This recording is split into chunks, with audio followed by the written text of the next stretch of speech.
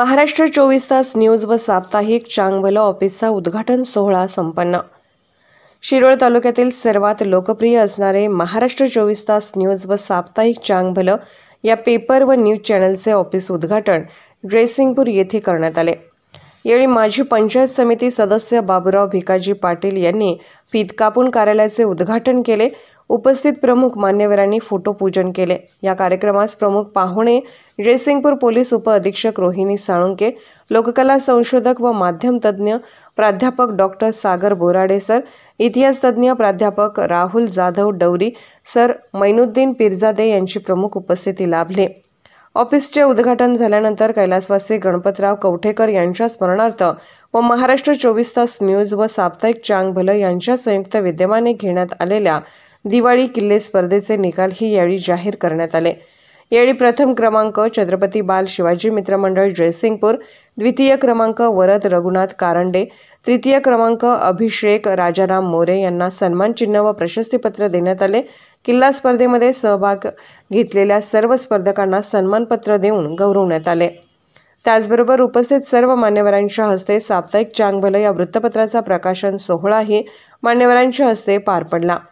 निर्भीड पत्रकार रोहित जाधव आणि साप्ताहिक चांगभलं संपादक सतीश मोटे यांनी नव्याने सुरू केलेल्या कार्यालयात संध्याकाळपासून अनेक मान्यवरांनी प्रत्यक्ष भेटून तसेच फोनवरून शुभेच्छांचा वर्षाव केला. या कार्यक्रमात सर्व पत्रकार वर्ग राजकीय सामाजिक क्षेत्रातील प्रतिष्ठित मान्यवर त्याचबरोबर जयसिंगपूरमधील नागरिक मित्रपरिवार मोठ्या संख्येने उपस्थित होते.